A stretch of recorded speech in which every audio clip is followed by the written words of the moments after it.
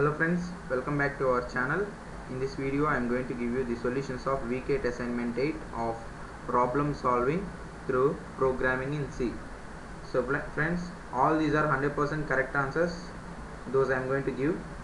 But if you feel any doubt or any correction regarding the answers i have i have given so you can comment in the comment section. So i'll try to give you the reply for your valid queries and please watch the video till the end without skipping because if you skip the video you will be missing some important answers. So please watch the video till the end. Coming to the first question what is the default return type if it is not specified in the function definition?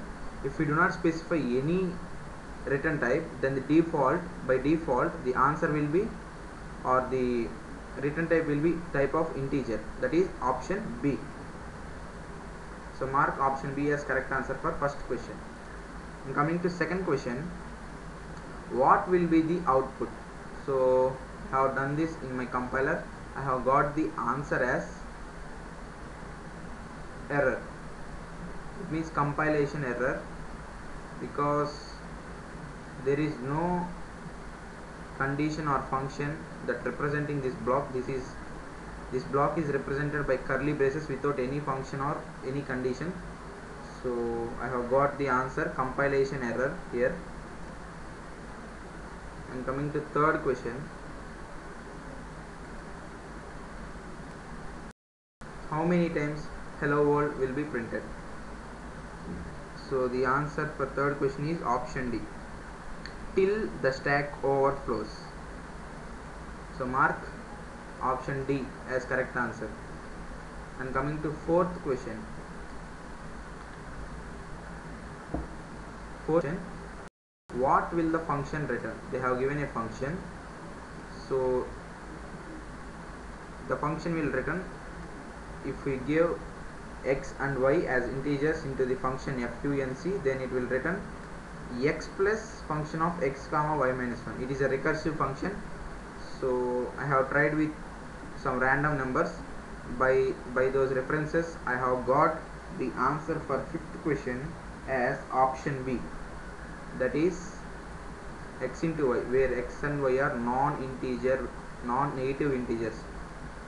Both x and y should be should not be negative integers. They can be 0 or positive integers.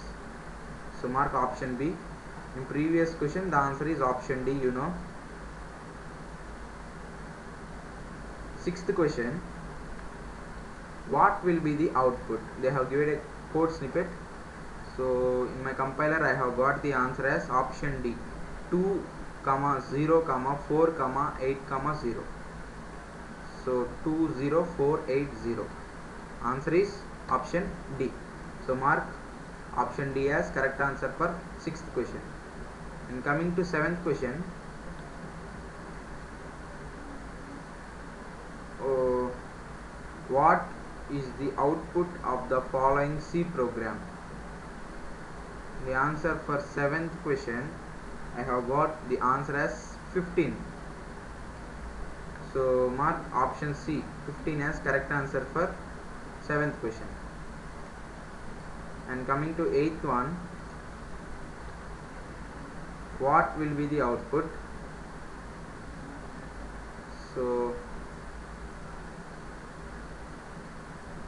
you see they have assigned number 1 as 10 and number 2 as 20 so before swapping what is number 1 10 and number 2 what is number 2 20 so before swapping here in number 1 place we will replace percentage d that means integer value with 10 so before swapping number 1 equal to 10 and number 2 equal to 20 so all these statements have similar in their first statement.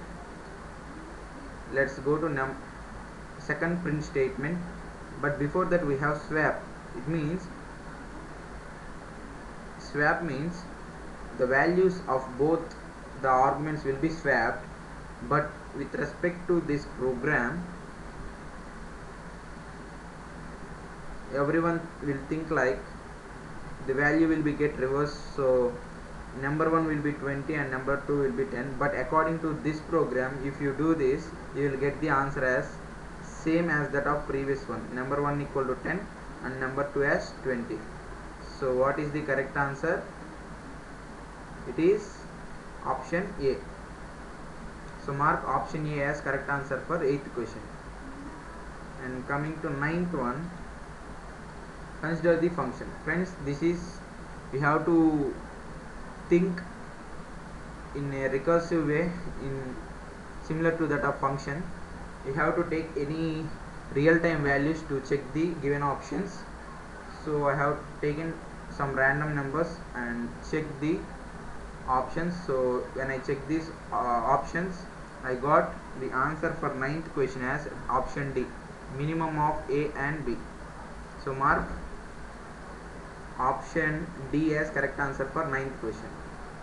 And the final question heading on to the final question that is the question of assignment 8 int Fibonacci. It is a function they have taken. So by default it will return Fibonacci of n minus 1 plus Fibonacci of n minus 2 so they have given. The function above has a flaw that may result in a serious error during some invocations. Which one of the following describes the deficiency illustrated above? The answer is option a. For some values of n the environment will almost certainly exhaust its stack space before the calculation process completes. So what is the answer?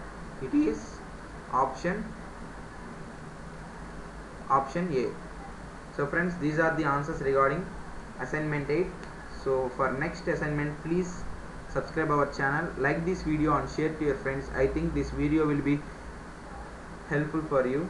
If you feel the same please support our channel and like this video and share this information with your friends too. So until then be safe be happy keep supporting us. Thank you bye